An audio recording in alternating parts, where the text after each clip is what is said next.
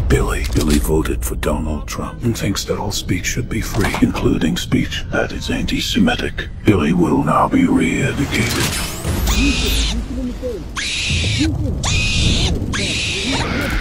Bad Billy. Very bad Billy. Meet Semi. Semi knows that certain forms of speech qualify as hate speech and therefore shouldn't be used. Emmy will have a long career. Good Semi. Very good Semi.